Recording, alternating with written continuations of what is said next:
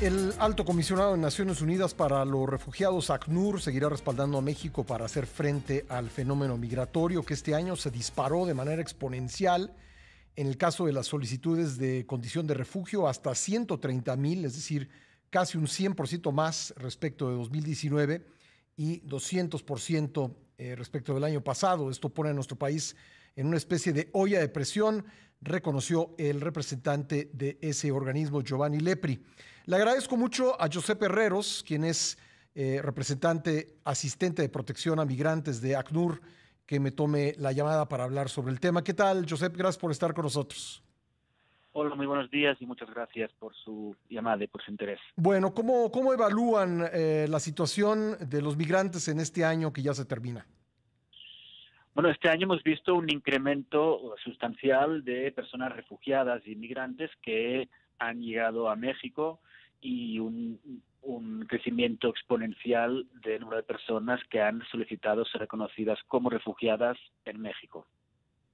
Eh, ¿Cómo lo está haciendo el país? Eh, ¿Cómo, está, ¿Cómo están las instituciones mexicanas eh, asimilando este incremento de migrantes que llegan pues no solo por la, por la frontera sur, sino incluso de otras maneras a través de la península de Yucatán?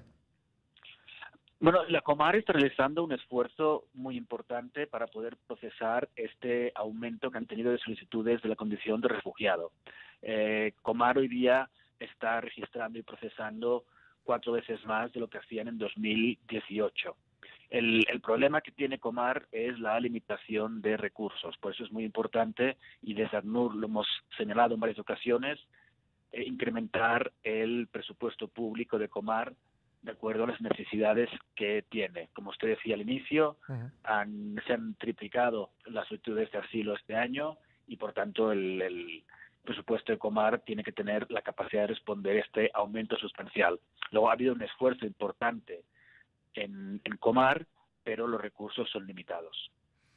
¿Cómo evalúan eh, que haya, se haya vuelto a, poner en, marcha el proyecto, eh, bueno, el programa eh, Quédate en México, que pues lleva a migrantes que buscan irse o tener refugio en Estados Unidos a esperar en México la respuesta de un juez estadounidense de inmigración? Pues tal y como lo hicimos público en su momento, con mucha preocupación. El, el MPP fue creado, fue implantado por la administración de Trump en el año 2019. Eh, nosotros, como grupo, las preocupaciones que en este programa, nunca fuimos parte del mismo. Cuando en inicio de 2021 la administración de Biden decidió terminar el MPP, ACNUR colaboramos activamente para finalizar este programa y que las personas pudieran reingresar a Estados Unidos para continuar su proceso de asilo. Por tanto, la orden judicial de reiniciar el MPP obviamente nos preocupa. Nos preocupa por las cuestiones de derecho internacional que genera y sobre todo por la situación de las personas retornadas a México y luego lo vemos con mucha preocupación. Eh, además de incrementar el presupuesto de Comar, ¿hay otras acciones que eh, recomendarían ustedes o que han platicado con las autoridades mexicanas, por ejemplo, respecto de la actuación de los agentes del Instituto Nacional de Migración? Desde ACNUR lo que estamos viendo es que el incremento de flujo que está llegando a México es básicamente un flujo mixto, un movimiento mixto. Eso significa que hay personas que requieren protección como refugiadas y personas que tienen otro tipo de necesidades. Hoy día la única puerta que hay es vía Comar, vía la condición de refugiado. De ahí que nos parece muy importante fortalecer la capacidad de la Comar, pero a la vez crear otras herramientas migratorias para responder a necesidades diferentes. Hay personas que tienen necesidades diferentes que no son vía la condición de refugiado y debería haber otras condiciones migratorias para garantizar también la protección de esas personas, que no todo sea vía el asilo. Luego las recomendaciones principales son fortalecer Comar, crear alternativas migratorias para las diferentes necesidades y obviamente el pleno respeto a los derechos humanos de las personas migrantes. ¿Cuáles serían, por ejemplo, esas, esas, otras categorías migratorias que, valdría la pena crear en función de los que han venido llegando? Por ejemplo, se, se podría estudiar el uso de la tarjeta de visitante por razones humanitarias, como ya está, se está haciendo y como estamos promoviendo, y crear otras avenidas también para permisos de trabajo, o también otros caminos, rutas legales en vías eh, laborales o tarjetas instantes por razones humanitarias.